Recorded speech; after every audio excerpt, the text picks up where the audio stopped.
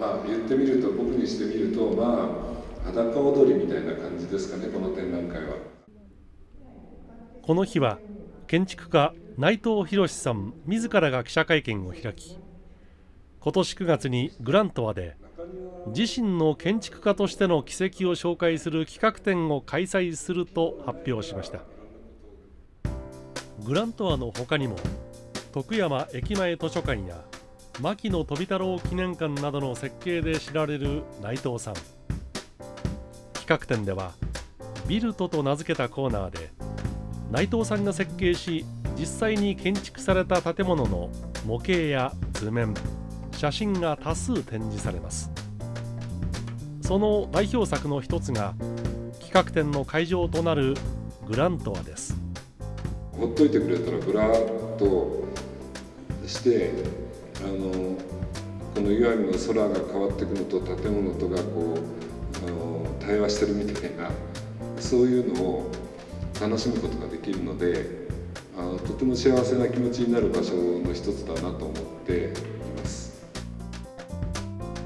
内藤さんにとって幸せな気持ちになる場所。グラントアはホールと美術館の複合施設として2005年に華々しくオープンしました。石見地方の文化の拠点として屋根と壁を28万枚の石州瓦で覆うなど大胆なデザインが話題となりました、まあ、住田知事がともかく、えーと、岩見のこれからを考えて文化の砦を、まあ、作りたいっていうそれも直接、まあ、知事から言われて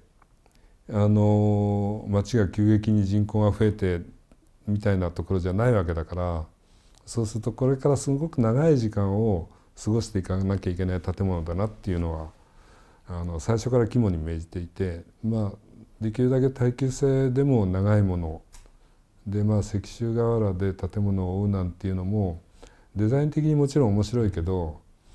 うんと長い時間考えるとこれがベストだと思って決めていて外壁ほとんど変わんないですよね。で中のコンクリートもそのそういうのに守られているのでほとんど変わんないですよね。まあ300年ぐらい でその時人類が存在してるかどうか分かんないけどさだけどあのそんくらいの気分であの設計に取り組んだことは確かですね。グラントアのもう一つの特徴的なデザインが45メートル四方の中庭広場と浅く水を張った25メートル四方の水盤です。この広場を中心にいろんななんか機能が全部ばらまかれてる感じになります。非常に強いイメージの広場を作りたくてでその時にあの県の人たちに言い放ったのは、えー、世界一きれいな広場を作るって言ったんですね。でそのためにはやっぱり水盤が必要だろうって、えー、途中で思い出して子供が来たらねまず真っ先にここに行くんですよ。子供は正直ですよね。なのでまあこの広場とこの、えー、と水盤は良かったというふうに思います。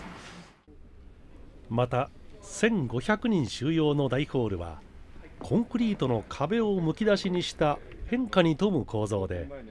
臨場感あふれるステージを堪能できるデザインです。あの小沢誠二さんとかミスチルの桜井さんだとかあと,、えーと、ミーシャとかみんながそういう一流のミュージシャンたちがいいって言ってくれるのにはいろんな理由があってですねコンクリートの壁ってこう重いですからこう跳ね返って音波が来て跳ね返る時にあまり減衰しないんですね。なのでこの糸後ろでも OK です。あの非常にあの舞台上の繊細な音とかそういうのを全部この糸後ろでも聞くことができると。また企画展の目玉の一つがアンビルトと名付けたコーナーです。デザインに取り組んだものの建築の実現に至らなかった50以上のプロジェクトが紹介されます。